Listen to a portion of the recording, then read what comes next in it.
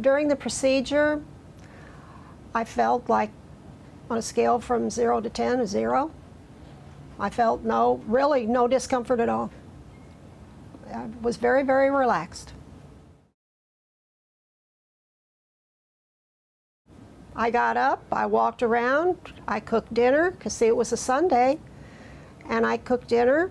I read the paper, and I, can, I didn't do much, you know, I didn't go out and run the block, but I, I would say that I was fine. I just went back to what I normally would do, have done on a normal Sunday.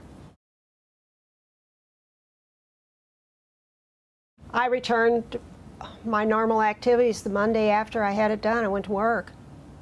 So I had no problems.